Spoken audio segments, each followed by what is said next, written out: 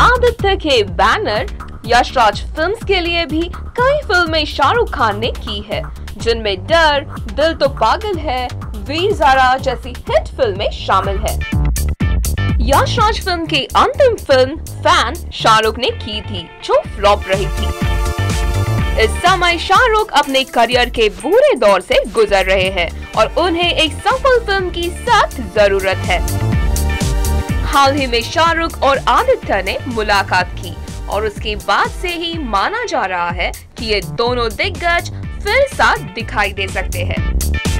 सूत्रों के अनुसार शाहरुख के साथ आदित्य चोपड़ा जल्द ही एक फ़िल्म बनाने वाले हैं।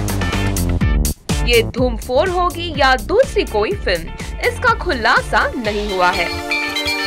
शाहरुख को हिट फ़िल्म चाहिए और ऐसे समय आदित्य चोपड़ा उनके काम आ सकते हैं। यह एक बड़े बजट की फ़िल्म होगी।